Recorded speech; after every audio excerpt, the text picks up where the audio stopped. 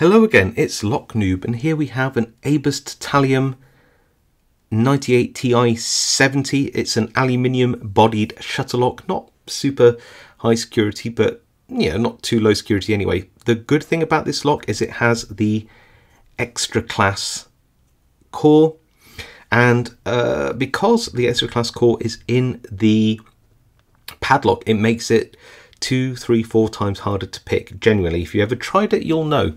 Why? Well, first of all, look at the keyway. Let me get my curved pick and you'll see. So, well, here's a flat flag. If I put that in the keyway like this, you'll see that it can only go so far. Can you see that? Hard to get that right with the lighting. Um, because of this very, very zigzaggy keyway, all that warding you do need to have something like this, a curved flag, to get all the way to the bottom of the keyway. Don't know you can just about make that out, but this curved flag um, can just about make it all the way down to the bottom of the keyway over that warding. Um, so yeah, if you want to get a sort of a, the highest cut possible, you need to really use a curved flag. There isn't many other options, in my experience anyway. The worst thing about this is um, please go check out some videos that I've done on extra class cores that I've gutted. Uh, this one, there's no way to do it, I think, non-destructively. But the pins in there are really cool. They're spooled. I think they've got like a a T-pin setup as well. Not easy by any means, but it makes it easier when you can turn the core one way. Um, where's my turning tool? Yeah turn the core one way, so ideally you turn it um, anti-clockwise, and then what I do is I use a flag and I pick clockwise like this. And that way you get that balance between you feeling where the counter rotation is and being able to just lighten up on the tension. But you don't get that, uh, well, you don't just not that lucky on this lock. The only way to do it is you turn it clockwise and pick clockwise, which means you don't get that balance interplay between um, feeling your spool pins and not feeling them, which makes it incredibly hard to get that feedback. You need to sort of float the tension manually. It's a pain, really is a pain.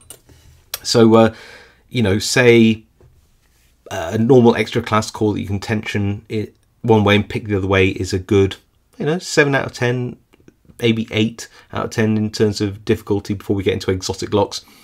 Um, it's definitely an, an 8, 8.5 out of 10 in difficulty when you try to pick it the same direction you're picking it this extra class core. If you disagree with me, absolutely fine. Let me know in the comments. Maybe you think these are easy. I personally think they're pretty challenging. Anyway, um, I'll grab a vice, we'll throw it in, we'll pick it, and we'll uh, see what we get to. All right, see you in a second. Okay, we're in the vice, and there's that key. I put some uh, focus lock on the actual lock itself because uh, just going in and out of focus drives me and probably you mad. So uh, put some turning force on. You might think that's a weird way of putting the turning tool, but it's such a weird gnarly keyway that you just got to go with what sort of works. Pin one, two, nothing on three, a little bit on four. We got into a, a bit of a false set there, and five and six. So got to be very careful coming back through this lock. One feels fine. Two. Hmm, might need something deeper for two. Let's let's try that. One. One to two. Come on, two. Oh, I got it. But you'll notice that we haven't got back into that same deep false set, which means one, two, three. That something's not happy in in the lock. I might just go in with that deeper curved hook again to see where it's pin one, no, pin two. There we go, that's two, three, four, five. Six. But I'm not sure why it's not gone back into that deep false set yet. Might have overset something, just going to rock that tension a bit. And we, we can go back through, we can go back through, it's fine. Okay, pin one now. Good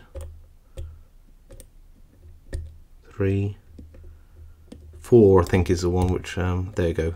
Then it finds that, release some of that turning force, five, Same with 6, release and that turning force, get the pick underneath the pin. There we go, good. And then see whether pin 2 was fully set or not. I think it was.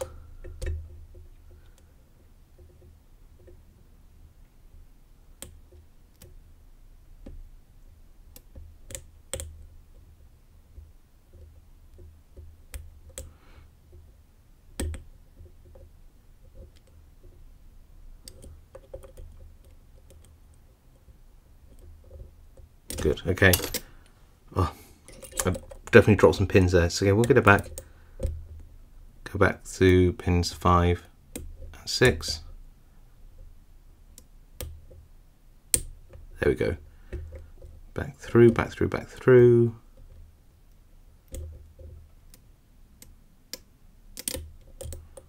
That's pin 3, I think, but I'm going to take that as a win, even though I dropped some pins. I think it needed to be set, even though it dropped a couple of pins at the back. Nature of this type of lock, there's pin 6 on one now. There we go. Okay, let's try going with that deeper hook, see what's what. Pin 1 feels good.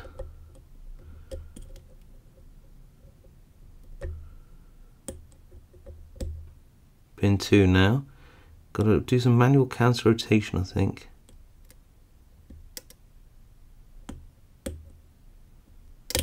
There we go, got it. But, oh, oh, oh, my pick almost got stuck. Okay, one, two, three, four. Uh, back through, this is five. Now, I've got to be very careful again, just got to make sure I'm in that deep set. Make sure that I am being very careful not to drop any pins, but also get on top of the pins that need to be set. And we're open, look at that. Whew.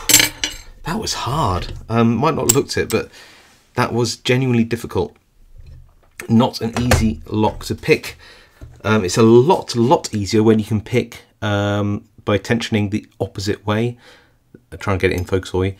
Uh, if you can turn it uh, the opposite way, so you're turning that way, you're turning anti-clockwise, then you're able to pick clockwise and you get that lovely balance between uh, uh, you just get a really good feel for the the pins as they set or uh, get into a full set or you know just you, you, can feel it a lot better when you're turning into the pins and picking into the pins. Uh, it just makes things maybe two three times harder I'd say. But yeah that's an Abus Titalium 98 Ti 70 um, pretty great lock in, in general. Um, not particularly high security but just a fun lock to learn to pick even if it's a little bit difficult. Anyway if you like this video please leave a like. If you've got any comments about picking one of these extra class cores um, the same way as you're tensioning it, please leave your comments below. I'd like to hear your horror stories as well. I do read all the comments and reply to as many as I can. Um, if you haven't subscribed to the channel, please consider subscribing. It really helps me out. And of course, I'll see you all next time.